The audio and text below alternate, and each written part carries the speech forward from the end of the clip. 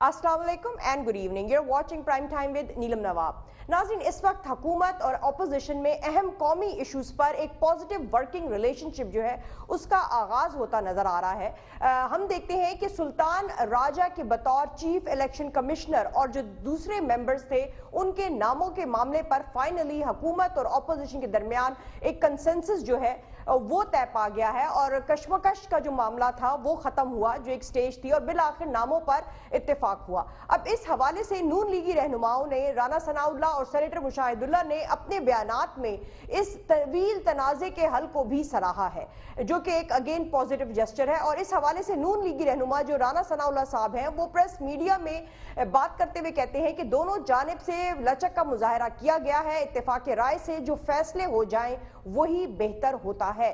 اب اس حوالے سے ان کا مزید یہ بھی کہنا تھا کہ حکومت پہلے اپنے نام تبدیل نہ کرنے پر بزد تھی۔ جب ناموں میں تبدیلی کی تو چیزیں آسان ہو گئیں۔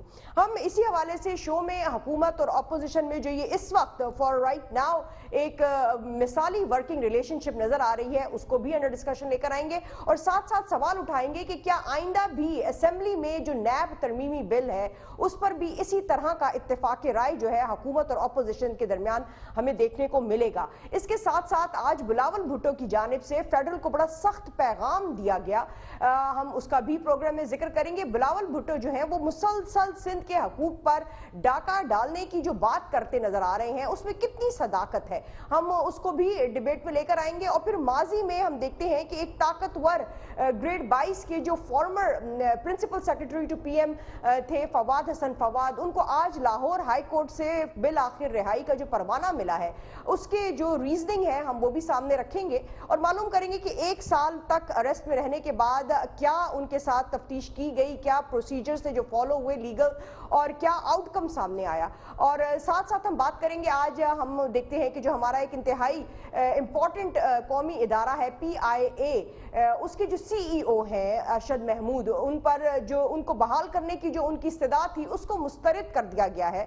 کورٹس کی جانب سے ہم اس پر بھی سوال اٹھائیں گے کہ آخر یہ ادارہ کب سیاست سے آزاد ہوگا جس کے حوالے آج کی جو ہیرنگ ہوئی ہے، اس میں چیف جسٹس صاحب بھی دیتے نظر آئے ہیں۔ اور جو اس انسٹیٹیوشن میں اپوائنٹمنٹس ہیں وہ کیوں ذاتی پسند و ناپسند کی بنیاد پر یا فیوریٹزم پر کی جا رہی ہیں؟ کب یہ تمام نیپوٹزم جو ہے، یہ ختم ہوگا؟ چاہے وہ سیاسی پارٹیوں کی جانب سے ہو یا کسی اور جانب سے ہو۔ But before we get started with our show let me introduce you to our honourable panel from Lahore studios ہمیں جوائن کر رہے ہیں جناب عمر تنویر بٹ صاحب chairman Punjab Punjab food authority ہیں ممبر آف پروونشل اسمبلی ہیں، پاکستان تحریک انصاف سے ان کا تعلق ہے۔ ان کے ساتھ تشریف فرما ہیں جناب رانا ارشد صاحب، پاکستان مسلم لیگ نواز کے سینئر رہنما ہیں۔ اور ہمیں اسکائپ پر جوائن کر رہے ہیں جناب نادر گبول صاحب، پاکستان پیپلز پارٹی سے ان کا تعلق ہے۔ اور ہمیں ٹیلی فون بیپر پر جوائن کر رہے ہیں جناب عمار مسعود صاحب سینئر اینالسٹ ہیں۔ آپ ان کو دیکھتے اور سنتے رہتے ہیں۔ السلام علیکم and thank you for joining اس جیسا کہ آپ نے ہمارا آج کا رن ڈاؤن سنا اور ہمارے سامنے جو آج کی سب سے بڑی ڈیولپمنٹ ہے، وہ فائنلی چیف الیکشن کمشنر پر حکومت اور اپوزیشن کا اتفاق رائے ہونا ہے۔ ہم نے، ہمارے سامنے جو فائنل نام آیا ہے as a chief election commissioner وہ فارمر بیوروکریٹ ہے، سکندر سلطان راجہ ہے، جو کہ اب ہمارے نئے چیف الیکشن کمشنر ہوں گے۔ ہم ان کا اگر تھوڑا سا بریف بتاتے چلیں تو جو سکندر سلطان راجہ صاحب ہیں، وہ گزشتہ برڈ سیکرٹری ریلوے کے عہدے سے ریٹائر ہوئے۔ حکومت اور اپوزیشن میں ان پر ان کے نام پر کنسنسس ہوتا ہے۔ اگر آپ ہمیں اجازت دیں تو ہم before we move on to the politicians ہم پہلے سینئر اینالسٹ سے ان کا ویو لے لیں۔ عمار مسعود صاحب، اب یہ ہمارے سامنے فائنلی جو الیکشن کمیشن کی اپوائنٹمنٹس تھیں، ایک بڑا چیلنج کہا جا رہا تھا، جس میں کورٹس بھی جانا پڑا۔ وہ فائنلی فیصلہ ہمارے سامنے ہے۔ ہمارے ساتھ تمار مسعود صاحب اس وقت موجود نہیں ہے اگر آپ ہمیں اجازت دیں تو ہم اپوزیشن سے شروع کرنا چاہیں گے۔ نادر قبول صاحب، یہ ہمارے سامنے اس وقت جو فیصلہ ہے الیکشن کمیشن کی اپوائنٹمنٹس کا چیف الیکشن کمشنر کا اور بلوچستان اور سندھ کے ممبرز کا، وہ فائنلی حکومت اور اپوزیشن نے اپنی جو آج کل ان کی مثالی ورکنگ ریلیشن شپ کہا جا رہا ہے۔ ہمیں آرمی ایکٹ امینڈمنٹ میں بھی یہ ریلیشن شپ نظر آئی۔ اور اب الیکشن کمیشن کی اپوائنٹمنٹس کے معاملے پر یہ نظر آ رہی ہے ایک مثالی ورکنگ ریلیشن شپ تو یہ جو نام سامنے آئے ہیں اس اتفاق رائے کا ہونا اہم معاملات پر ایک مثبت عمل سمجھا جائے یا یہ صرف اسی حد تک ہی اتفاق رائے نظر آئے گا؟ آگے اس اتفاق رائے کو ہم نہیں دیکھ پائیں گے انفارچونیٹلی جی آپ نے نادر قبول صاحب آپ کو ہماری آواز آ رہی ہے۔ بات کی کہ ورکنگ ریلیشن شپ امپروو ہو چکا ہے اپوزیشن اور گورنمنٹ کے تھرو پر یہ جنرل نہیں ہے یہ اسپیسیفک ہے. کیس بائی کیس ہم اس کو دیکھ رہے ہیں، کیونکہ from day one our party has promised Bilawal Bhutto صاحب in speeches that depending on the on the issue اور ملک کے اور عوام مفاد میں اگر کوئی چیز ہوگی تو اس میں ہم عمران خان کی حکومت کا ساتھ دیں گے۔ تو ظاہر سی بات ہے، ابھی ملک کو کافی سارے اس طرح کے چیلنجز ہیں جس کے اوپر فوکس کرنا چاہیے، چاہے وہ فورن افیئرز ہو، چاہے انٹرنل سیکیورٹی ہو۔ مگر سب سے زیادہ جو اس وقت امپورٹنٹ چیز ہے وہ ہے عوام کو فوری طور پر جو غربت کا جو سونامی ایک آ چکا ہے، مہنگائی کا سونامی آ چکا ہے۔ اس سے بچانا ہے عوام کو، تو ہم چاہ رہے ہیں کہ حکومت اس چیز پہ فوکس کرے because day to day of every Pakistani has become worse than it was two years ago بلکہ پاکستان کی ہسٹری میں سچویشن اتنی بری نہیں تھی، مہنگائی اتنی زیادہ نہیں تھی جتنی آج ہے۔ تو ہم چاہیں گے کہ یہ باقی سارے جو روٹین کے ایشوز ہیں چیف الیکشن کمشنر کا، ان جب سب چیزوں کو تو چلاتے رہیں گے uh, ساتھ ساتھ، مگر uh, Imran Khan and his cabinet needs to focus on poverty alleviation jobs کو انکریز کرنے کے لیے اور اس میں ہم جو بھی ساتھ دے سکتے ہیں حکومت کا اس میں ہم دینے کو تیار ہیں۔ اور ابھی اس وقت اس طرح کی الزام تراشی ہو رہی ہے۔ اگر آٹے کے بحران کی آپ بات کریں تو فردوز عاشق اوان صاحبہ کوشش کر رہی ہے کہ سندھ حکومت کو اس کا ذمہ دار ٹھہرائے۔ جبکہ لیکن یہاں پر ٹھیک نادر قبول صاحب آپ کا پرسپیکٹیو آ گیا۔ حکومت کو چاہیے آپ کا پرسپیکٹیو آ گیا۔ یہاں پر عمار مسعود صاحب آپ کی جانب ہم آئیں گے۔ ہمارے سامنے آج چیف الیکشن کمشنر کی جو اپوائنمنٹ ہے وہ سامنے ہے۔ ایک اتفاق رائے جو ہے بلڈ اپ ہو گیا ہے۔ حکومت اور اپوزیشن کے درمیان سکندر سلطان راجہ صاحب جو ہیں جو کہ ایک ریٹائرڈ بیوروکریٹ ہیں ان کا نام سامنے آیا ہے۔ اب اس اپوائنمنٹ میں جو ایک جنرل ایک سوال اٹھایا جا رہا ہے کہ نارملی دیکھا گیا ہے کہ عموماً جو چیف الیکشن کمشنر ہے، وہ کسی ریٹائرڈ جج کو ہی لگایا جاتا ہے چیف الیکشن کمشنر کے طور پر۔ ہم نے دیکھا کہ اب یہ کافی عرصے بعد جہاں تک مجھے یاد آ رہا ہے بیوروکریٹ کو لگانا چیف الیکشن کمشنر جو ہے، یہ ایک انہونی سی بات کہی جا رہی ہے۔ تو کیا آپ کو لگ رہا ہے کہ ایک چیف جو جو ریٹائرڈ بیوروکریٹ ہے، وہ بھی اس اہم ذمہ داری پر جو ہے وہ پورا اتریں گے، وہ اس کو نبھا لیں گے؟ میرے خیال میں وہاں پہ ہمیں کوئی ویسے فیصلے نہیں کرنے پڑتے جو جوڈیشری میں کرنے پڑتے ہیں. بیسکلی یہ کسی اچھے منتظم کا کام ہے اور ان کی شہرت اچھی سنی ہوئی ہے. یہ انتظامی طور پر اچھے آدمی ہیں اور میرے خیال میں اگر منتظم اچھے ہیں تو بالکل ہو سکتا ہے. دوسرا امپورٹنٹ بات یہ ہے کہ یہ کنسنسس ہوا ہے. جو کہ بڑی مشکل بات ہے اس دور میں. تو اگر کنسنسس کے ساتھ کوئی چیز ہوئی ہے، اس کو اپریشیٹ کرنا چاہیے. رانا ارشد صاحب ہم نے جیسا کہ آپ کو بتایا کہ رانا ثناء اللہ صاحب ہو گئے اور نون لیگ کے جو دیگر رہنما ہیں انہوں نے بھی اس کنسنسس اور اتفاق رائے کو جو اپریشیٹ کیا ہے کہ یہ لچک جو دکھائی گئی ہے حکومت کی جانب سے یہ معاملات میں بہتری کے لیے ہے اب یہ جو کنسنسس اس وقت الیکشن کمیشن کی اپوائنٹمنٹس کے حوالے سے ہے یہ کیا آگے بھی پریویل کرے گا نون لیگ کیا آگے جو محاذ نظر آ رہے ہیں NAB ordinance NAB amendment bill جو ہے وہ اس کے بعد ایک اور چیلنجنگ ایسپیکٹ ہے کیا اس اس میں بھی نون لیگ حکومت کے ساتھ کھڑی نظر آئے گی اور یہ اس الیکشن کمیشن کے اپوائنٹمنٹس کو آپ کیسے دیکھ رہے ہیں نون لیگ کے پوائنٹ آف ویو سے؟ بسم اللہ الرحمن الرحیم، میں آپ کا، آپ کے چینل کا شکریہ ادا کرتا ہوں۔ اور میں سمجھتا ہوں کہ جو بارہ یا چودہ ماہ ایک ایشو بنا رہا، بلوچستان اور سندھ کے ممبران کا جو خلا تھا لیکن نا پانچ ممبران، چار صوبوں کے پانچواں چیئرمین، تین نہیں ہیں۔ تو پھر حکومت کی کارکردگی تو آپ کے سامنے نظر آ جاتی ہے نا؟ اس لیے آپ نے بات کی، آرمی ایکٹ کی، میں سمجھتا ہوں قومی ایشوز جو میاں شباشی صاحب نے قومی اسمبلی میں کہا تھا، جو ہمارے قائد نے، میاں نواشی صاحب نے کوٹ لکھپت جیل سے کہا تھا کہ وہ انڈیا کا ایشو ہو، وہ کشمیر کا ایشو ہو، ہم افواج پاکستان اور اس حکومت کے ساتھ تمام تر تحفظات کے باوجود قومی ایشوز پر کھڑے ہیں۔ اور آج بھی ہم اس بات پر کھڑے ہیں۔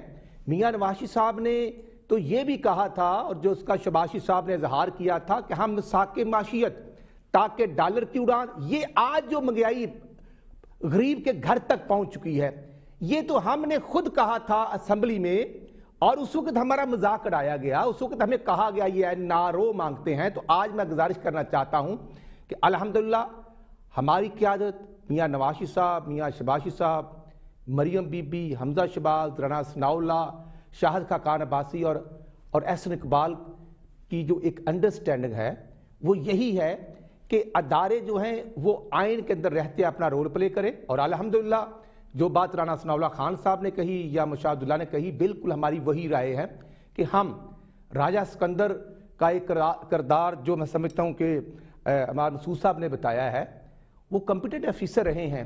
لیکن اب جو رول ہے جیسے بابر یقوب کا نام تھا تبدیل نہیں ہو رہا تھا ہم سمجھتے ہیں کہ اس یہ بڑی اہم سیٹ ہے۔ الیکشن ریفارمز کی مزید ابھی ضرورت ہے۔ اور اس پر ہم تمام اپوزیشن بالکل متفق ہیں متحد ہیں۔ اور گورنمنٹ کے بھی کچھ ممبران چاہتے ہیں کہ اس میں امینڈمنٹ ہو۔ الیکشن ریفارمز میں ریفارمز مزید آنی چاہیے یہاں پر پوچھ لیتے ہیں ٹھیک، حکومت کا پرسپیکٹو بھی لیں گے ہم۔ عمر تنویر بٹ صاحب، آپ نے یہاں پر ہمارے باقی پینلسٹ کی جو ہے رائے سنی۔ اب ہمارے سامنے جو الیکشن کمیشن کے اپوائنٹمنٹس ہیں، اس میں چیف الیکشن کمشنر کا نام فائنلائز ہو گیا ہے۔ بلوچستان اور سندھ کے ممبرز کے نام بھی فائنلائز ہو گئے ہیں۔ وزیر اعظم کو بھیج دیے گئے ہیں۔ آپ کو لگتا ہے کہ خط لکھا گیا تھا وزیر اعظم کی جانب سے شہباز شریف صاحب کو، اور اس خط کی جو جو فارمیٹ تھا وہ بھی بڑا فلیکسیبل لگا تھا۔ تو یہ جو فلیکسیبلٹی لچک دکھائی گئی ہے حکومت کی جانب سے، ایک تو اس کی وجہ کیا ہے؟ اور دوسرا، پاکستان میں ہم دیکھتے ہیں کہ آبویسلی الیکشن کمیشن اور جو چیف الیکشن کمیشنر ہے اسپیشلی ان کو بڑے چیلنجز کا سامنا ہوتا ہے۔ کلیکٹیولی یہ جو الیکشن کمیشن آف پاکستان ہے، اس کو بہت بڑے چیلنج کا سامنا ہوتا ہے الیکشنز کی صورت میں۔ آپ کو لگتا ہے کہ یہ جو کرنٹ ٹیم آئی ہے، یہ جو فائنلائز ہوگی، یہ ان چیلنجز کو اوورکم کر سکے گی؟ رحمان الرحیم thank you very much Neelam. گزارش یہ ہے، ہم تو شروع سے ہی فلیکسیبل ہیں ماسوائے صرف ایک بات کے۔ اور وہ یہ تھا کہ ہم این آر او کسی کو نہیں دیں گے اکاؤنٹیبلٹی اکراس دا بورڈ ہوگی۔ اس ملک کے ساتھ جو لوٹ خسوٹ کی گئی ہے ماضی میں، اس کا حساب ماضی کے حکمرانوں کو دینا پڑے گا۔ یہ ہمارا ایک سٹانس اس وقت بھی تھا، یہ ایک سٹانس اب بھی ہے۔ بڑی خوشائن بات ہے۔ کہ جو لیجسلیٹو پروسیس جس کے لیے عوام ہمیں الیکٹ کر کے اسمبلیوں میں بھیجتی ہے، ہم ان کا حق پورا ادا کر رہے ہیں۔ ایک دوسرے کے ساتھ مل کے قومی مسائل کے اوپر ہم مشترکہ طور پہ ایفرٹ کر رہے ہیں۔ تین نام پہلے گورنمنٹ نے بھیجے، تین نام اپوزیشن لیڈر نے بھیجے، ان تینوں کے اوپر کنسنسس چھ کے چھ پہ نہیں ہو سکا۔ بٹ ایٹ دی اینڈ جب بات آئی کہ لیجسلیٹو پروسیس سے نکال کے اس کو پارلیمنٹ سے نکال کے اس کو سپریم کورٹ میں بھیجنے کی نوبت جب جہاں پہ آئی تو وہاں پہ دونوں سائڈ سے ہمارے مختلف لیڈران جو ہیں، انہوں نے ایک ہی طرح کا ان کا بیانیہ یا سٹیٹمنٹ تھی اور وہ یہ تھی کہ پارلیمنٹ کو اپنا کام خود کرنے کی اس میں صلاحیت موجود ہے اور اس کو کرنا بھی چاہیے۔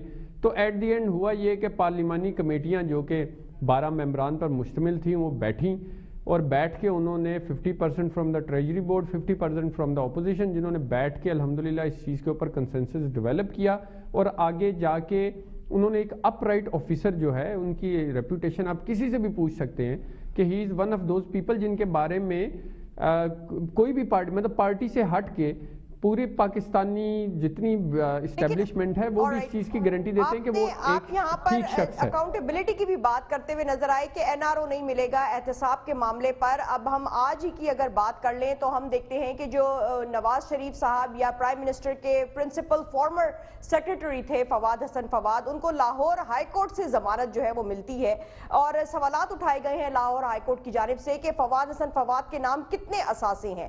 اور یہ بھی پوچھا گیا ہے کہ طویل عرصے تک فواد حسن فواد کی گرفتاری رہی، نیب کیا ثابت کر پایا اس ایک سال میں؟ اگر ہمیں آپ اجازت دیں، یہاں پر عمار مسعود صاحب آپ سے شروعات کر لیتے ہیں۔ یہ جو ہمارے سامنے آج کی ڈیولپمنٹ ہے، جس میں کہ لاہور ہائی کورٹ سے ضمانت منظور ہو گئی ہے فواد حسن فواد صاحب کی۔ اب جو جسٹس طارق عباسی صاحب ہیں، وہ آج کی ہیرنگ میں کہتے ہیں کہ جن کے نام سب کچھ ہے، انہیں گرفتار کیوں نہیں کیا گیا؟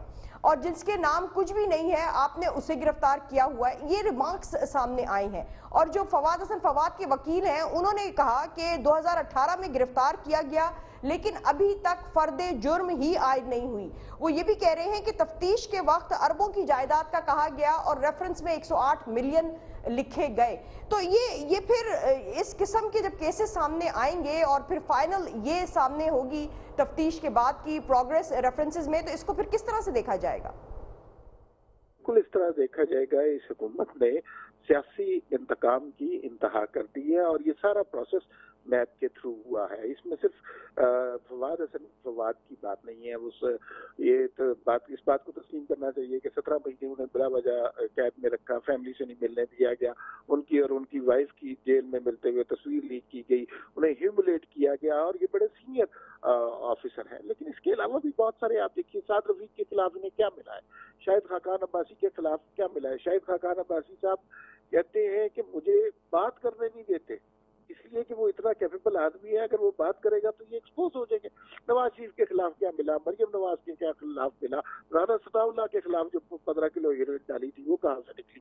تو بیسیکلی یہ جو ہے نا انتقام کی انتہا تک پہنچی ہے۔ لیکن اب سیاسی صورتحال تبدیل ہو رہی ہے چیئرمین نیب کا بھی پچھلے دنوں بیان آیا تھا کہ عوام کا رخ بدل رہا ہے۔ دوسری بات یہ ہے، حالیہ جو آرمی ایکٹ ہے اس پہ جب جماعت سیاسی جماعتیں غیر مشروط طور پر شامل ہو گئی ہیں، تو اس کے بعد سے ہم نے دیکھا ہے کہ صورتحال بہت تیزی سے بدل رہی ہے۔ اور وہ، اگر آپ نے نعیم الحق صاحب کا انٹرویو سنا ہو، تو وہ نعیم الحق صاحب تو بالکل وہ جو ہے نرم رہجب بات کر رہے ہیں کہ اپوزیشن کوئی بھی بات کہے، ہم ہر وقت اس کو خوش دلی سے ماننے کے لیے تیار ہیں۔ ہوا کیا ہے؟ ہوا یہ ہے کہ پہلے انہوں نے شدید انتقام لیا اپنی من مانی کی صورتحال تبدیل ہوتی نظر آ رہی ہے تو انہیں پتہ چل رہا ہے کہ حکومت جس تخت پر بیٹھی ہے وہ تخت لرز رہا ہے۔ اور یہ جو ساری کاروائیاں انہوں نے کی ہیں، فواد حسن فواد اور دیگر رہنماؤں کو گرفتار کیا ہے، یہ ان کے اوپر واپس پڑے گی۔ اس لیے کہ رانا صلاح اللہ کے اوپر اگر آپ ہیروئن ڈال دیتے ہیں اور اس کا کوئی ثبوت نہیں ہوتا اور آپ خدا کی قرآن کی قسمیں اٹھا کے جھوٹ بولتے ہیں لیکن لیکن حکومت کا موقف تو یہ ہے کہ یہ کیسز ہمارے دور حکومت پہ آنے سے پہلے سے چل رہے تھے۔ نیب ایک جو ہے آزاد ادارہ ہے۔ یہاں پر نادر کا بول صاحب رائٹ نادر قبول صاحب اب یہ جو ہمارے سامنے آج کا کیس ہے ہم ہم نے بریفنگ آپ کو تھوڑی سی دی کہ فواد حسن فواد جو ہیں اکٹوبر 2018 میں جو ایسٹ بیان مینز ہیں اس کیس میں گرفتار ہوتے ہیں۔ اور پھر مارچ 2019 میں نیپ جو ہیں وہ فواد حسن فواد کے خلاف ریفرنس دائر کرتی ہے۔ اب ان پر جو الزامات لگائے گئے، مبینہ طور پر ایک ارب نو کروڑ کے غیر قانونی اثاثے بنانے کا الزام ہے ان پر نیب کی جانب سے۔ اور پھر فواد حسن فواد تیرہ جنوری کو پابند سلاسل ہی وہ ریٹائر بھی ہو جاتے ہیں۔ تو یہ تمام کیسز جو ہیں، یہ کیا ایک مفروضے پر بنائے گئے ہیں؟ پروف نہیں ہو پائے یا ویک پروسیکیوشن کا بھی ایشو ہے نیب میں؟ وہ اس لیول کی پروسیکیوشن نہیں ہو رہی جو کہ ریکوائرڈ تھی۔ جی انفارچونیٹلی نیب جو ہے وہ بار بار یہی ثابت کر رہا ہے کہ وہ ایک وکٹمائزیشن کا ادارہ ہے اکاؤنٹیبلٹی کا نہیں، اور اس کی جو بیج بوئی تھی اور سب سے زیادہ اس کو جب یو جو یوز کیا بھی گیا ہے، وہ ہمیشہ عامرانہ حکومت ڈکٹیٹرشپ کی حکومت جیسے مشرف فار ایگزامپل ایسی حکومتوں میں زیادہ استعمال کیا گیا ہے پولیٹیکل لیڈرز کو وکٹمائز کرنے کے لیے، اور اس کی سب سے بڑی مثال خود ہمارے جو پارٹی کے کو چیئرمین آصف زاری صاحب، وہ ہیں جنہوں نے بارہ سال تقریباً ابھی اس دفعہ بھی جو جیل کاٹی ہے ان کو اس کو ملا کے تقریباً بارہ سال جیل کاٹی ہے اور آج تک ایک بھی ایلیگیشن ان کے خلاف پروف نہیں ہوا ہے۔ اور اس کی کئی اور مثالیں بھی ہیں، اگر شرجیل میمن کو لے لیں، ڈاکٹر عاصم کو لے لیں۔ اور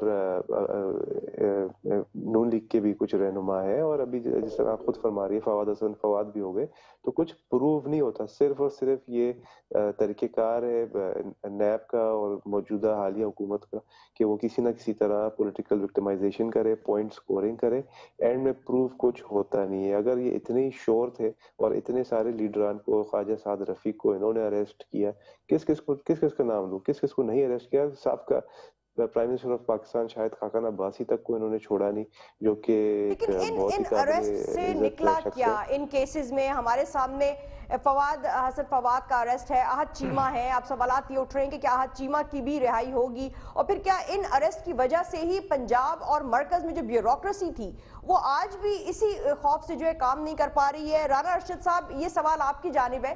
یہ جو ارسٹ در ارسٹ ہمیں ہوتے ہوئے نظر آئے تھے اور اب یہ بھی سوال ہے کہ کیا آہد چیمہ بھی جو ہے ان کو بھی رہائی ملے گی؟ اور پھر کیا جو بیوروکریسی کام نہیں کر پائی پنجاب میں وہ کیا اسی خوف کی وجہ سے جو ہے وہ سٹینڈ سٹل ہو گیا تمام کام؟ نیلم میں صرف یہ عرض کروں گا تمام ادارے ہمارے لیے بڑے ہی قابل احترام ہیں۔ آ, لیکن جو میرے چھوٹے بھائی نادر نے بات کی کہ وہ جو ڈاکٹر آسم پر پانچ سو ستر ارب نکلے تھے، وہ کہاں پہ گئے؟ اور اسی طرح میں سمجھتا ہوں شرجیل میمن والا کیس کہاں پہ ہے؟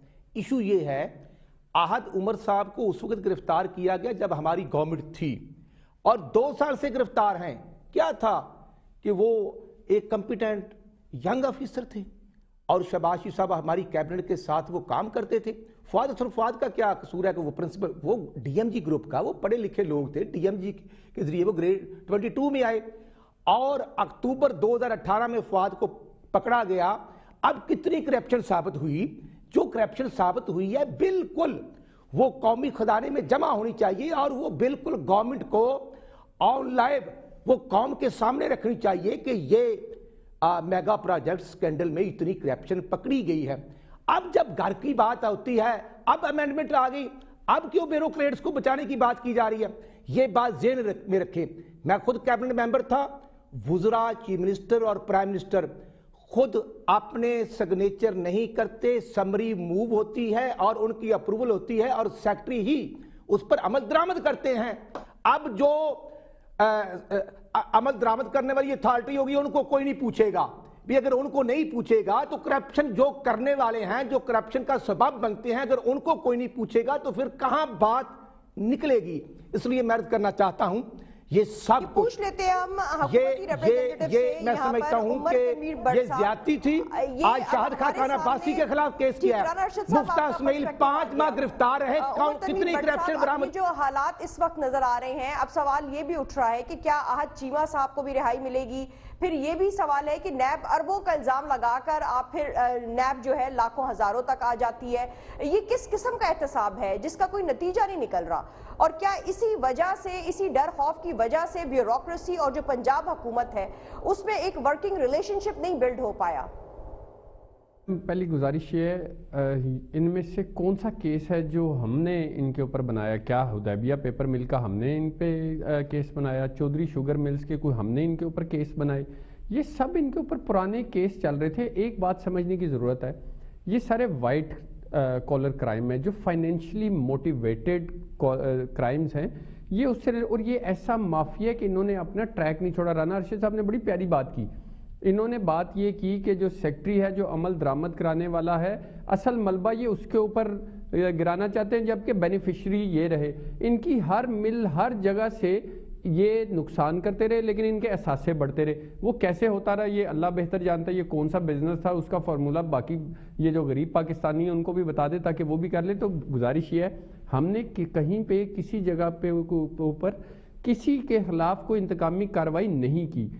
نیب انڈیپینڈنٹ ادارے کے طور پہ کرتا رہا اس میں کوئی شک نہیں کہ نیب کی انکوائری کے اندر اور نیب کے جو سسٹم ہے، اس کے اندر بے شمار لوپ ہول تھے۔ اگر آپ وہ امینڈمنٹس جو آج پڑھیں، وہ کسی بیوروکریٹ یا کسی کو بچانے کے لیے نہیں ہیں، بلکہ وہ نیب کو امپروو کرنے کے لیے کی گئی ہیں۔ اگر یہ اس کا مطالعہ کریں گے تو ان کو سمجھ آئے گی کہ اس کو ہم نے زیادہ بہتر کیا ہے وائٹ کالر کرائم سے ریلیٹڈ ان کو زیادہ اکوپ کیا ہے تاکہ وہ بہتر طریقے سے فنکشن اور پرفارم کر سکے۔ لاہور ہائی کورٹ کا اس سلسلے میں بڑا ویلڈ کوشچن تھا آہد صاحب کے چکر میں کہ ان کے پاس ابھی تک آپ نے ثابت کیا کیا۔ کاش یہ سوال بھی ہو جاتا کہ ان کی جو بنامی اس وقت جائیدادیں ہیں، ان کا بھی کوئی حساب کتاب سامنے لے آیا جاتا۔ تو بڑے آسانی سے یہ معاملات طے ہو جاتے۔ میں صرف اسی لیے گزارش بار بار یہ کر رہا ہوں کہ یہ مافیا ایسا ہے جو زیادہ تر بے نامی اس کے اوپر چلتا ہے۔ ہم اسی لیے وسل بلور کا بھی کانسیپٹ لے کے آنا چاہ رہے ہیں۔ وہ اسمبلی میں پڑا ہے تعطل کا شکار ہے۔ وہ ہم نظر رکھیں گے وہ وہ ہم نظر رکھیں گے۔ لیکن یہ جو نیا ایک پنڈورا باکس کھلتا ہوا نظر آ رہا ہے پنجاب اور بیوروکریسی کو لے کر منصلاحی صاحب بھی کہہ رہے ہیں کہ پنجاب میں سیاسی لوگوں اور بیوروکریسی کے درمیان فاصلہ بڑھتا نظر آ رہا ہے۔ ہم دیکھ رہے ہیں کہ جو سردار شہاب الدین ہے ان کی سربراہی میں پی ٹی آئی کا جو پنجاب میں ایک نیا فارورڈ گروپ ہے۔ وہ ان کی بھی وزیر اعلیٰ پنجاب پر تنقید بڑھتی نظر آ رہی ہے۔ تو یہ آخر پنجاب میں فارورڈ ارکان کا جو گروپ ہے اس کو بنانے کی نوبت کیوں آئی یا یہ بنائی کیوں ہے؟ پنجاب کے معاملات آپ کو کیا نظر آ رہے ہیں؟ آپ تو پنجاب میں بیٹھے ہوئے ہیں۔ ذرا گزارش سن لیں۔ اصل میں دیکھیں بیشتر لوگوں کو یہ علم نہیں ہے کہ ہم کس فارمولہ یا کس اسٹریٹجی کو اڈاپٹ کر رہے ہیں۔ ہم اداروں کو مضبوط کرنے اور ان سے پولیٹیکل انٹرفیرنس کو کم سے کم بلکہ ختم کرنے کی طرف لے کے جا رہے ہیں۔ ہمارا جو پولیٹیشنز کا ہے وہ ڈیموکریٹک اوور سائٹ کا رول ہوتا ہے۔ اب ڈیموکریٹک اوور سائٹ کا رول کا مطلب ہے کہ جہاں کوئی خرابی ہو رہی ہے اس کو پوائنٹ آؤٹ کر کے اس کو روکا جائے۔ باقی کسی بھی آفیسر کو جو گورنمنٹ آف پاکستان کا ملازم ہے، اس کو کسی صورت میں، کسی چیز میں جبرن اس سے کوئی ایسا کام نہ کروایا جائے جو خلاف قانون ہو۔ اب یہاں پہ آپ صرف یہ دیکھ لیں کہ ان کے جتنے لیڈران ہیں، ان کے اوپر جو اس وقت سب سے زیادہ نیب اور اس کے حوالے سے کیسز بنے ہوئے ہیں، وہ رولز آف لا کو فالو نہ کرنے کی وجہ سے بنے ہوئے ہیں۔ کسی بھی بحران کے نتیجے میں، کسی کی پرابلم کے نتیجے میں جب آپ رولز کو سرپاس کرتے ہیں یا بائی پاس کرتے ہیں تو اس کے بعد پھر یہ والے معاملات اٹھتے ہیں۔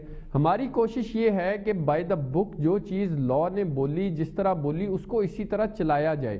ہمارے کئی ایسے دوست ہیں جن کی ناراضگی اس وجہ سے ہے کہ لاسٹ لیکن وہ چلتا ہوا نظر نہیں آ رہا معاملہ جس حساب سے ناراضگی نظر آ رہی ہیں چاہے وہ آپ کے اتحادی ہوں چاہے وہ آپ کے اپنے اندر کے وفاقی وزیر ہوں۔ آرائٹ مجھے کوئک بریک یہاں پر لینی ہوگی۔ ہم بریک سے واپس آ کر ڈسکشن کو یہیں سے کنٹینیو کریں گے۔ ناظرین stay with us right back after short break welcome back ناظرین، ہم اس وقت بات کر رہے ہیں کہ جو پنجاب سرکار پر اس وقت تنقید ہو رہی ہے، اس کو لے کر حکومت پر تنقید کے لیے کہا جا رہا ہے کہ اپوزیشن کی اب ضرورت ہی نہیں رہی، کیونکہ خود حکومتی حلقے یا حکومتی اتحادی جو ہیں، وہ حکومت پر تنقید کرتے نظر آتے ہیں۔ مونس الہی صاحب کہتے ہیں کہ حکومت نے دھکے دے کر نکالا تو ہی جائیں گے، ورنہ نہیں۔ اور انہوں نے یہ بھی کہا کہ وزیر اعظم عمران خان شاید میرے لیے پسندیدگی نہیں رکھتے۔ اور پھر یہ بھی سوالات اٹھائے جا رہے ہیں کہ پنجاب میں سیاسی لوگوں اور بیوروکریسی کے درمیان جو ہے ایک working relationship build up نہیں ہو پا رہا۔ فواد چودھری جو ہیں وہ بار بار مطالبہ کرتے نظر آ رہے ہیں۔ انہوں نے حالیہ جو ہے ایک دفعہ پھر خط لکھا ہے پی ایم کو اور انہوں نے عثمان بزدار صاحب کی کارکردگی کے حوالے سے سوالات اٹھائے ہیں۔ اور ساتھ ساتھ یہ بھی خبریں ہیں کہ سردار شہاب الدین کی سربراہی میں پی ٹی آئی پنجاب میں ایک نیا فارورڈ بلاک بنتا نظر آ رہا ہے اور وزیر اعلیٰ پنجاب پر تنقید جو ہے وہ بڑھتی نظر آ رہی ہے۔ اب یہ معاملات اس نہش تک کیوں پہنچے؟ آخر کیوں فارورڈ گروپ بننے کی نوبت آئی؟ امار مسعود صاحب، اگر اس سچویشن پر آپ کا پرسپیکٹو لے لیا جائے، کیا آپ کو لگتا ہے کہ جو یہاں پر پنجاب سرکار کو لے کر حکومت کے اپنے اندر کے حلقوں میں آوازیں اٹھنا شروع ہو گئی ہیں اور پھر حکومتی وزراء آپس میں ایک دوسرے کے بیانات کی نفی کر رہی ہیں فردوس عاشق آوان کہتی ہیں کہ جس نے عثمان بزدار پر تنقید کی، اس نے وزیر اعظم پر تنقید کی۔ فواد چودھری صاحب کہتے ہیں کہ فردوس عاشق آوان کا یہ بیان جو ہے، مذائقہ خیز ہے۔ اور وہ کہہ رہے ہیں کہ ہمیں اگلے الیکشن میں ہمیں جواب دے ہونا ہے۔ اگر پنجاب سرکار کی یہی پرفارمنس رہی تو ہم اگلے الیکشن نہیں جیت پائیں گے۔ اس تمام سچویشن کو آپ کس طرح سے دیکھ رہے ہیں؟ اس لیے کہ پہلی بات تو یہ آپ بیوروکریسی کو پنجاب کی الزام دے رہے ہیں۔ بیوروکریسی ایگزیکٹو کا کام کرتی کوئی بھی منصوبہ بنتا ہے، اس کے اوپر عمل درآمد اور فائل پر سائن فائنل سیکشن بیوروکریسی کرتی ہے آپ نے کوئی منصوبہ بنایا ہی نہیں۔ مجھے کوئی شخص بتا دے کہ کوئی منصوبہ بنا ہے اور اس کے اوپر بیوروکریسی نے کام کرنے سے انکار کیا۔ ایسا تو بالکل نہیں ہوا۔ بیوروکریسی میں البتہ جو ہمیشہ سے ہوتا ہے، انہوں نے سیاسی اکھاڑ پچھاڑ کیا، انہیں خوف زدہ کیا۔ دو سینئر بیوروکریٹس کو آپ نے جیل میں ڈال دیا۔ اور دوسری بات یہ ہے کہ اب جو ان کے اندر سے لوگ بولنے لگے ہیں، وہ اس لیے نہیں کہ یہ پرفارمنس خراب ہے۔ کچھ جو ہوتے ہیں، اڑنے والے پرندے ہوتے ہیں۔ انہیں بہت اچھی طرح اندازہ ہو رہا ہے کہ مارچ، اپریل تک ہونا کیا ہے۔ جس طرح یہ ملک چل رہا ہے، جس طرح اس کی اکانومی چل رہی ہے، یہ سسٹم زیادہ دیر تک نہیں چل سکتا۔ نیکسٹ ایئر کی پروجیکشن گروتھ ریٹ کی ٹو پوائنٹ ون ہے۔ ٹو پوائنٹ ون دنیا میں انتہائی جو پسماندہ ممالک ہیں، ان کی بھی نہیں ہے۔ ٹو پوائنٹ ون پہ آپ چلیں گے، آپ کی لاکھوں نوکریاں ختم ہوگی ہزاروں کاروبار بند ہوں گے، روپی ڈی ویلیو ہوگی، تاجر پریشان ہوں گے سرد کار سرمایہ کاری سے اوائڈ کریں گے، سرمایہ کا اسٹاک ایکسچینج آپ کی ڈوب جائے گی۔ یہ آپ کی پرفارمنس ہے۔ تو اس سے خوف زدہ ہو کے بہت سارے لوگ الگ ہونا چاہتے ہیں اور چونکہ پی ٹی آئی میں ٹوٹل جتنی قومی اسمبلی میں لوگ ہیں، اس میں ایک قسم کے اپنے ہیں۔ باقی تو ادھر ادھر سے اٹھائے ہوئے ہیں۔ پیپل پارٹی کے سے جو لوگ آئے ہوئے ہیں، ان کے اپنی پیپل پارٹی کے بلاول بھٹو سے رابطے ہیں۔ وہ ایک بارہ ووٹس کا معاملہ ہے پنجاب میں حکومت بدلنے کے لیے۔ رائٹ یہاں پر نادر قبول صاحب، ابھی ہم نے پنجاب کی صورتحال آپ کے سامنے رکھی ہے۔ اگر سندھ کی جانب آ جائیں تو بلاول بھٹو نے آج بڑا ایک، جسے کہنا چاہیے، سخت بیان دیا ہے۔ ہم پہلے آپ کو سنوا دیں what exactly did he say today then we will bring it in the discussion here. یہ نالائق، نا اہل وفاقی حکومت ہمارا آئینی حق کو بھی مارتے ہیں۔ اور گیس لوڈ شیڈنگ سب سے زیادہ ان علاقوں میں کرتے ہیں، جہاں سے گیس پیدا ہوتا ہے۔ وزیر اعظم نے کیمپین کے دوران کہا تھا کہ دو نہیں، ایک پاکستان میں۔ لیکن جس طریقے سے وہ حکومت چلا رہا ہے، ہمیں نظر آ رہا ہے کہ ایک نہیں، دو پاکستان۔ پنجاب کا آئی جی ایسے تبدیل ہو جاتا ہے۔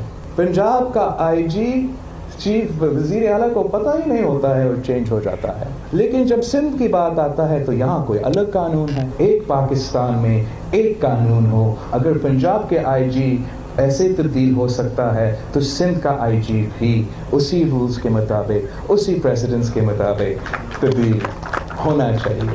اب اپنا ناکامی اور نالائکی کو چھپانے کے لیے گالی دینے کے بجائے کام کر، عوام کا مسائل حل کرے، ورنہ عوام آپ سے حساب جی نادر قبول صاحب، اور یہ بھی بلاول بھٹو آج کہہ رہے تھے کہ ملک کا معاشی قتل کسی صورت برداشت نہیں کریں گے، وفاق کو سندھ کے حقوق نہیں چھیننے دیں گے۔ تو اب یہ، اور پھر آئی جی سندھ کو لے کر معاملہ بڑا ہیڈ ٹو ہیڈ نظر آ رہا ہے تھرو آؤٹ فیڈرل اور سندھ کے درمیان۔ تو کیا واقعی میں فیڈرل کی جانب سے زیادتی ہو رہی ہے یا شاید سندھ گورنمنٹ اوور ریاکٹ کر رہی ہے؟ نہیں جی بلاول بھٹو صاحب نے بہت اچھی بات کی کہ دو نہیں ایک پاکستان جو سٹینڈرڈ آپ نے پنجاب میں رکھا ہے، چینجز آپ من پسند بیوروکریٹس کو لاتے ہیں، جن کو نہیں پسند کرتے ہیں، ان کو راتوں رات پیکنگ بھیج دیتے ہیں۔ تو اسی طرح سے سندھ حکومت کو بھی رائٹ ہے اٹانومی کا to exercise its will and C M صاحب is the authority to decide کہ اگر کوئی بیوروکریٹ چاہے وہ آئی جی ہو چاہے وہ کوئی اور ہو، اگر وہ پرفارم نہیں کر رہا اور صوبے کے بہتری کے لیے نہیں کام کر رہا یا نہیں کر سک رہا انٹینشن شاید ہو پر کر نہیں سک رہا، تو اس کو چینج کرنے کا اختیار سندھ حکومت کو ہے کیونکہ اٹانومی ہے اس وقت، تو اس کو اتنا کنٹروورشل بنانا۔ اصل میں پی ٹی آئی حکومت کو ایک گلے میں ایک ہڈی بن گیا سندھ حکومت بیکاز پورے پاکستان میں تو انہوں نے اپنی حکومت قائم کر لی پر سندھ میں نہیں کر سکے۔ سندھ نے رجسٹ کیا ہے۔ تو اس لیے کسی نہ کسی طرح سے وہ وینڈیٹا نکالنا چاہتے ہیں، چاہے ہمارے لیڈران کو اریسٹ کر کے، چاہے ہماری گورنرز کے اندر انٹرفیئر کر کے۔ تو یہ کسی بھی طور پہ ایکسیپٹیبل نہیں ہے۔ اینڈ دا فیڈرل حکومت should not interfere in changing of the I G because it's complete prerogative of the provincial حکومت۔ لیکن یہ عمر تنویر بٹ صاحب آپ کی جانب آ جائیں تو پھر ہم آگے رانا ارشد صاحب کا بھی ویو لیں گے۔ یہ عمر تنویر بٹ صاحب، یہ کوشچن ریس کیے جا رہے ہیں اور ایک طرح سے اٹ میک سینس آلسو کہ پنجاب میں پانچ آئی جیز تبدیل ہو جاتے ہیں کے پی کے میں چار آئی جیز تبدیل ہو جاتے ہیں بٹ کوئی وہاں پر اتنا ہم ایک ٹسل نہیں دیکھتے اور اتنی ہم جو ہے ریزرویشن نہیں دیکھتے۔ لیکن جب سندھ آئی جی چینج ہونے کی بات آتی ہے تو یہاں پر بڑا معاملہ ہیڈ ٹو ہیڈ نظر آ رہا ہے۔ فیڈرل اور سندھ گورنمنٹ کو لے کر معاملات کورٹس میں جاتے نظر آ رہے ہیں۔ یہ کیوں آخر؟ بات بڑی سمپل سی ہے۔ کہیں پہ، کسی جگہ پہ ان کو یہ نہیں کہا گیا کہ آئی جی چینج نہیں ہو سکتا، لیکن اس کے اوپر ڈیو ڈیلیبریشن کی ضرورت ہوتی ہے اور جو کرنے کے بعد، یہ ان کو جلدی کس چیز کی ہے؟ یہاں پہ بھی آئی جی کوئی راتوں رات چینج نہیں ہوئے۔ اپنی اگر کسی آئی جی نے پرفارم نہیں کیا تو تب وہ چینج کیا گیا۔ ادروائز اور یہ نہیں کہ اس کو اوور نائٹ چینج کر دیا گیا۔ یہ تھوڑا صبر کر لیں ہمیں پہلے پتہ تو کر لینے دے دیکھ تو لینے دے کہ آخر سچویشن ہے کیا معاملہ کیا ہے۔ اور ہمیشہ دونوں سائڈوں کی بات سن کے اس کے بعد فیصلہ کیا جاتا ہے۔ آئی جی سے بھی پوچھا جائے گا کہ آخر کیا ایسی ریزرویشن ہیں جن کی وجہ کیا اس نے کیا غلامی ایکسیپٹ کرنے سے انکار کر دیا ان کی جو کہ ان کا ترہ امتیاز ہے ہمیشہ سے سیاست کا کہ یہ بیوروکریٹس کو یہ بیوروکریٹس کو ہمیشہ مجھے بات کر لینے دیں نادر صاحب تھوڑی سی برداشت ہونی چاہیے۔ یہ ان کا ترہ امتیاز ہمیشہ سے یہ رہا کہ انہوں نے بیوروکریسی کو اپنا غلام بنا کے رکھا۔ میں ایک چھوٹی سی بات کرتا چلوں جو پنجاب میں اس وقت ایشو جو آپ، جس کا ذکر کر رہی تھی، ایک منٹ میں میں سم اپ کر دوں گا۔ وہ صرف یہ ہے کہ بیوروکریسی کے اندر ہم بائی بک چیزوں کو لے کے چل رہے ہیں تاکہ ایگزیکٹو جو ہیں وہ قانون کے دائرے میں رہ کے کام کریں۔ اب وہ کرتے ہوئے تھوڑا سا جو ڈیلے پروسیس آتا ہے وہ ابھی تک ہم اس کو ایڈجسٹ نہیں کر پائے بیوروکریسی جو ہے، وہ اس کو ایڈجسٹ نہیں کر پائی۔ تو میرے خیال سے اٹس ویری امپورٹنٹ کہ بیوروکریسی اپنے لیول پہ اپنا کام کرے۔ پولیٹیشنز ڈیموکریٹک اوورسائٹ کا کام کریں جہاں پہ کوئی ایشو ہے، اس کو قانونی طریقے سے حل کیا جائے، نہ کہ اس کے اوپر دبڑ کی جائے۔ بڑی سمپل سی بات ہے۔ ہم موونگ آن ہم اگلے ٹاپک کی جانب بھی جائیں گے۔ یہاں پر رانا ارشد صاحب شو کا وقت بھی کافی کم رہ گیا، لیکن اس ٹاپک کو بھی ہم ٹچ بیس کرنا چاہیں گے۔ ہم دیکھتے ہیں کہ سپریم کورٹ نے جو پی آئی اے کے سی ای او ہیں، ارشد محمود صاحب، ان کو کام کرنے سے جو ہے روک دیا ہے۔ اور سندھ ہائی کورٹ سے جو ہے وہ مقدمے کی ڈیٹیلز بھی منگوا لی ہیں۔ سی آئی او جو کہ پی آئی اے کا مقدمہ پرائیویٹائزیشن کیس کے ساتھ منسلک جو ہے وہ بھی کر دیا ہے۔ اب جو موقف اپنایا گیا ہے کہ پی آئی اے کو چلانے کے لیے ایوییشن کا تجربہ ہونا چاہیے۔ اور پھر ہم نے دیکھا کہ جو کورٹس تھے، انہوں نے ایئر کوموڈور کو ٹھیکہ دینے پر تشویش کا اظہار کیا۔ چیف جسٹس نے ریمارکس دیے کہ پی آئی اے کو خاندانی کمپنی بنا دیا ہے۔ اور یہ بھی کہا گیا کہ بہتر ہے کہ فضائی کمپنی ایئر فورس کے حوالے کر دے ایئر لائن میں سفر کر کے۔ حال تو دیکھیں، یہ ادارہ کسی کی جاگیر نہیں ہے۔ تو یہ جو اب پی آئی اے کے ادارے کو لے کر آج ہمیں جو الفاظ نظر آئے ہیں، کیا آپ کو لگتا ہے کہ سیاسی معاملات ساتھ یہاں پر انوالو ہو رہے ہیں۔ کیا جب پولیٹیکل پارٹیز کے ہاتھ میں یہ معاملہ تھا، تب بھی یہ ادارہ جو ہے وہ سیاسی ہی اس میں ہم نے نومینیشنز ہوتی بھی دیکھی تھی قوم کا اثاثہ اس ادارے کو کب سمجھا جائے گا؟ ایشو یہ ہے کہ آج وہاں پر جن کو ٹھیکے دیے جا رہے ہیں، وہ کون ہیں؟ پروسیجر اگر اڈاپٹ نہیں ہوگا پیپرا رولز کو اڈاپٹ نہیں کیا جائے گا اور ایک کمپنی جو ہے وہ چند ہفتے پہلے بنتی ہے، ستر کروڑ کا اس کو ٹھیکہ مل جاتا ہے، تو اس کو پریمشن صاحب بالکل انکوائری کریں۔ آپ نے بات کی بیروکریسی کی۔ یہاں پر ایک گائے کا کیس بنتا ہے اور سواتی صاحب غریب پہ پرچہ کرواتے ہیں اور آئی جی اسلام آباد تبدیل ہوتا ہے۔ پنجاب میں پانچ آئی جی تبدیل ہوئے اور ڈی پی او پاک پتن سے لے کر کون سی انکوائری ہوئی؟ کس پر کمیٹی بنی؟ نہ ڈٹال کوئی نہیں ہوا۔ ایشو یہ ہے کبھی بہتر سال میں کسی پرائم منسٹر نے بیروکریسی سے خطاب نہیں کیا تھا۔ صرف عمران احمد خان نیازی صاحب نے بیروکریٹ سے خطاب کیا۔ اور آپ کے سابقہ منسٹر انفارمیشن فواد چوری صاحب کا پوائنٹ آف ویو تھا کہ جو بیروکریٹ ہماری بات نہیں مانیں گے ان کو سیٹوں پر نہیں رہنے دیا جائے گا۔ آج پنجاب میں تمام پرانے بیروکریٹ سے لے آئے ہیں لیکن مائنڈ سیٹ بھی چاہیے کام کرنے کے لیے۔ آج آٹا چالیس روپے سے پچہتر روپے کلو ہو گیا۔ چنے کی دال پینسٹھ پیسے ایک سو باسٹھ روپے یوٹیلٹی اسٹور میں ہے۔ چینی مہنگی کھاد مہنگی بجلی مہنگی گیس مہنگی یہ حکومت کی کارکردگی ہے جو نظر آ رہی ہے۔ بالکل ختم ہو گیا۔ بہت بہت شکریہ۔ رانا ارشد صاحب عمر تنویر بٹ صاحب نادر گبول صاحب اور عمار مسعود صاحب آپ کا ہمیں جوائن کرنے کے لیے۔ ناظرین آج کے لیے اتنا ہی۔ See all tomorrow night until then اپنا پاکستان کا بہت خیال رکھیے گا۔ اللہ حافظ اینڈ گڈ نائٹ